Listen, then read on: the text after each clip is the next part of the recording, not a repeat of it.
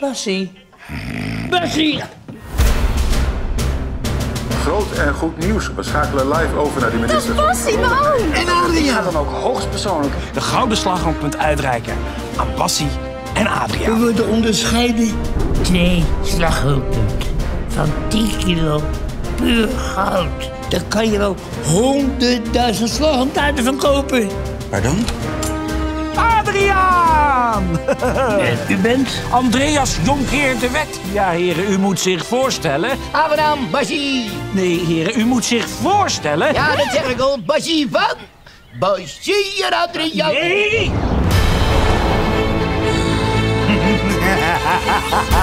Is de neef van de baron. Oh, maar mogen je? Dan heeft hij nog familie ook. Bassie! Adriaan, hallo?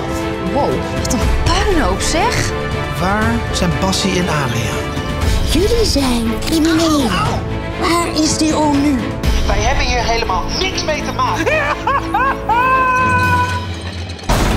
Ik denk dat er iets heel ergs is gebeurd met Bassie en Adriaan. Kit en Koet zijn ontsnapt.